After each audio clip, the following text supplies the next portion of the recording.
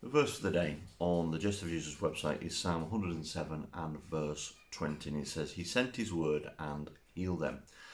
There are loads of examples in the Bible of healings, and when you look in the New Testament, more particularly in the life of Jesus, loads of people were brought to Jesus and He healed them. Quite often it was a physical thing, He touched them and He healed them of all kinds of things.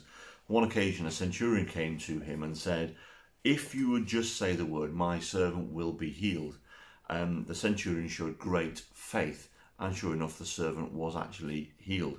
There is power in God's word, and Jesus sent his word to that centurion, and the servant was healed.